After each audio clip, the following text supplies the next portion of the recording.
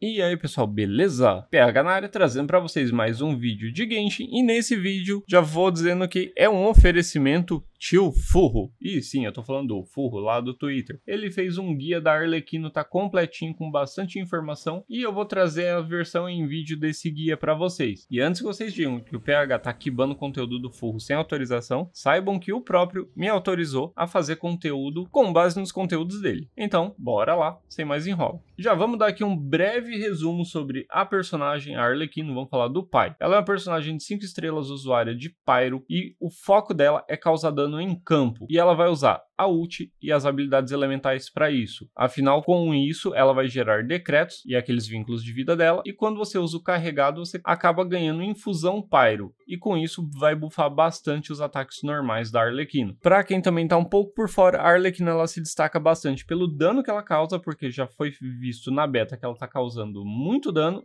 e tem uma alta variedade de equipes na qual você pode usar ela e com baixo custo. Afinal, ela não precisa 100% da própria arma para funcionar e nem de equipes Whale só com personagens 5 estrelas, por exemplo. Tem muito personagem de 4 estrelas que serve para ela como uma luva. Porém, a gameplay da Arlequino pode ser um pouco complexa para alguns, visto que ela não recebe cura de aliados, apenas ela pode se realar usando a explosão elemental e aliado ao fato dela ter aqueles contratos, né, os decretos de vida dela que ficam reduzindo a vida dela para poder buffar. Isso também para muitas pessoas pode acabar sendo um pouco complicado. Já vamos começar aqui falando da sinergia da Arlequino com outros personagens. Como eu mencionei anteriormente, as comps com ela podem ser bem variadas e ela pode ser utilizada tanto em equipes de vaporizar como equipes de sobrecarga ou dependendo aí se você quiser, você pode meter um monopyro, double gel ou até usar uma equipe de imersivo usando a retentora caso você tenha. Então, você tem um leque de opções para usar com a Arlequino. E uma nota minha, que não está no guia do Furro, porém fonte vozes na minha cabeça, eu acho que pode funcionar muito bem com ela. Uma equipe também de burn usando o Dendro. Pode ser que funcione e que fique legal, como por exemplo você usando uma Narida para aplicar bastante Dendro, sei lá, uma Colei. O Viajante Dendro aplica bastante Dendro também, então de repente ela pode funcionar usando o Dendro para você fazer burn. Acredito eu que fique legal, pelo menos eu gosto de fazer equipes de burn às vezes. Agora uma dica, que por não receber cura de aliados, conforme mencionei anteriormente, então não é muito viável você usar um healer na equipe. O healer na sua equipe, ele serviria para realar os outros personagens, já que a Arlequino só se reala usando a própria ult. Isso em combate. Se você estiver fora de combate,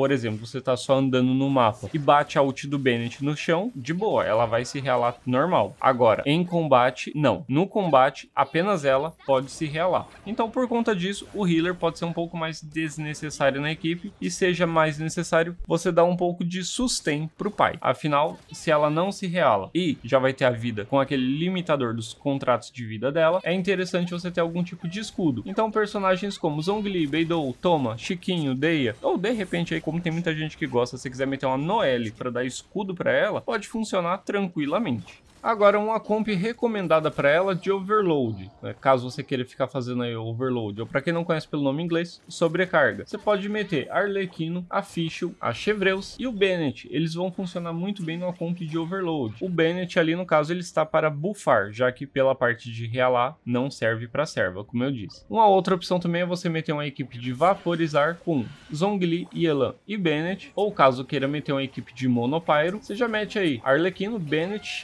E o Kazuha. Vai funcionar tranquilamente. Ou também você pode, se quiser, vamos colocar aí uma quarta equipe, fonte, vozes na minha cabeça, uma equipe de Burn, que eu particularmente arriscaria fazer com Arlequino, Bennett, a Nahida e o Zhongli. Zhongli, no caso, para dar um pouco de proteção, Nahida por conta do Dendro e o Bennett para bufar. Ou, de repente, eu até tiro o Bennett e coloco o Kazuha no lugar. Mas, como eu disse, fonte, vozes na minha cabeça. Depois vocês comentam aí qual seria a equipe de Burn que vocês fariam, por por exemplo, os personagens com uma boa sinergia com ela são o Kazuha, a Chevreuse, o Zhongli, a Retentora, a Yelan e o Bennett, sendo o Bennett o com mais sinergia de todos. Digamos assim, o Bennett é a peça central e os outros estão na volta dele. Agora vamos falar rapidamente de quais artefatos você pode usar na Arlequino. Obviamente o mais indicado para Arlequino é o fragmento da Harmonia Fantástica. Para quem não conhece esse fragmento da Harmonia, ele ainda vai chegar na 4.6, é o set de artefato novo que está vindo para ela especificamente. E para quem não conhece, faz o que esse set? O bônus de duas peças dele aumenta o ataque em 18%. E o bônus de quatro peças é o seguinte: quando o valor de um contrato de vida aumenta ou diminui, aumenta o dano causado por esse personagem em 18% por 6 segundos e acumula até 3 vezes. Então, com, se você pegar esses acúmulos, né, multiplicar pelo 18, você vai ter aí 54%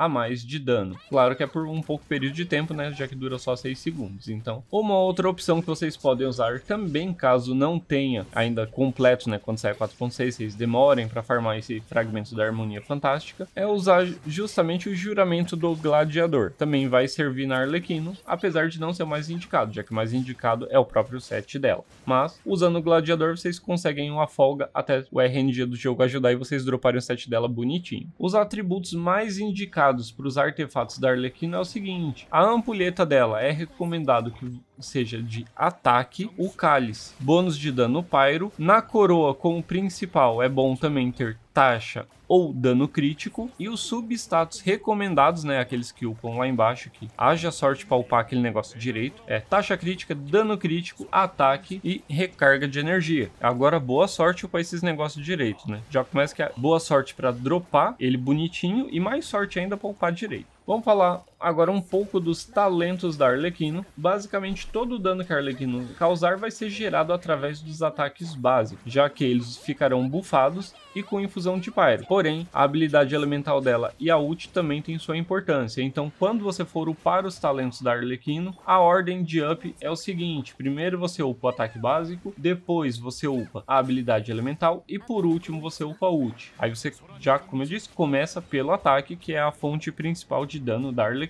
E agora, por último, mas não menos importante, a gente vai falar das armas que você pode utilizar na Arlequino, que aí vocês já vão ter tempo de ir se preparando, de repente farmando arma, upando caso você tenha ela e não esteja upada, e bora lá. Obviamente, a arma mais recomendada para Arlequino é a própria arma dela, essa arma dela tem como substatus taxa crítica, ficando no nível 90 com 22,1% de taxa crítica. E a passiva da arma dela, né, que chama Semblante da Lua Carmesim, é o seguinte: quando um ataque carregado atinge o um inimigo, ganha um contrato de vida equivalente a 25% da vida máxima. Esse efeito ele pode ser desencadeado uma vez a cada 14 segundos. E além disso, quando o personagem que está com essa arma equipada tem um contrato de vida, aumenta o dano em 12%. E se o valor valor do contrato de vida for maior ou igual a 30% da vida máxima, então ganha 20% de aumento de dano adicional. E isso fora o fato né, de que nas mãos da Arlequino, essa lança dela se transforma em foice. Então,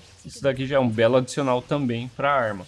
Uma outra lança que também é recomendada para Arlequina, apesar de ser uma lança bem feia, por sinal, é a lança do duelo. Para quem não conhece, essa lança do duelo é aquela que você pega no passe do Genshin. Então, você teria que comprar o passe para ter essa lança. Essa lança ela também tem como substatus taxa crítica, só que ela dá muito mais taxa crítica do que a própria lança da Arlequina, porque essa daqui no nível 90 ela fica com 36,8% de taxa crítica. E o efeito dessa lança de duelo é o seguinte: se eu houver pelo menos dois oponentes próximos, o ataque é aumentado em 16% e a defesa é aumentada em 16%. E se houver menos de dois oponentes nas proximidades, o ataque é aumentado em 24%. Então ela também vai servir bastante na Arlequino e a cor dela até que combina também, porque ela é vermelha e tem uns detalhes mais escuros, então acaba visualmente combinando. Uma outra opção que vocês têm também de usar na Arlequino é o báculo de Roma. Muita gente aí deve ter a báculo de Roma e ela vai servir também como substância status, a Báculo de Roma, ela é de dano crítico, ficando no nível 90 com 66,2%. E a passiva da Báculo de Roma é o seguinte: a vida aumenta em 20%, então nessa brincadeira aqui a sua Arlequin já vai ter mais vida. E além disso, oferece um bônus de ataque com base em 0,8% da vida máxima do usuário. E quando a vida do usuário é inferior a 50%, esse bônus de ataque é aumentado em um adicional 1% da vida máxima. Então a Báculo de Roma também seria uma boa opção para ela, para você poder utilizar tanto pela parte de aumentar a vida, como por aumentar o ataque com base na vida máxima. Sem contar que ela dá bastante dano crítico. Uma outra opção de 5 estrelas que vocês têm também aí para usar é a lança de jade primitiva. No nível 90, a lança de jade, ela dá 22,1% de taxa crítica e como passiva, ao acertar, aumenta o ataque em 3,2% por 6 segundos. Estaca no máximo 7 vezes. E esse efeito só pode ocorrer uma vez a cada 0,3 segundos. Enquanto estiver em posse do máximo possível de stacks, o dano distribuído é aumentado em 12%. E por último, mas não menos importante, uma outra opção que serve também aí para Arlequino é usar a Borla Branca, que é uma arma de 3 estrelas. No nível 90, ela vai dar 22,1% de taxa crítica, e como passiva, o dano causado pelo ataque normal aumenta em 24%. E já que o forte da Arlequino é justamente o ataque normal dela, né, os básicos, então a Borla Branca acaba servindo também. Mas e aí, comenta o que vocês acharam desse guia. Já comenta também sobre aquelas sugestões que eu dei lá de comps para você usar, por exemplo, fazer um vaporizar, fazer uma equipe de sobrecarga, ou de repente meter uma equipe de burn com narrida, ou alguma outra coisa. Sei lá, de repente alguém quer usar até melt, tipo Ganyu Melt, por exemplo, com Arlequino, não sei. Comenta aí o que vocês acham, que comp vocês vão usar. Gostaram do guia? Não gostaram do guia? Se gostou, já deixa aquele like no vídeo, aproveita, vai lá na postagem do Furro, lá no Twitter, já deixa aquele like pra ele, afinal, o guia é dele. Eu vou ficando por aqui. Se tiverem alguma sugestão de algum outro vídeo, alguma coisa que vocês querem, podem deixar aí nos comentários. Beleza, pessoal? Valeu, falou e até a próxima.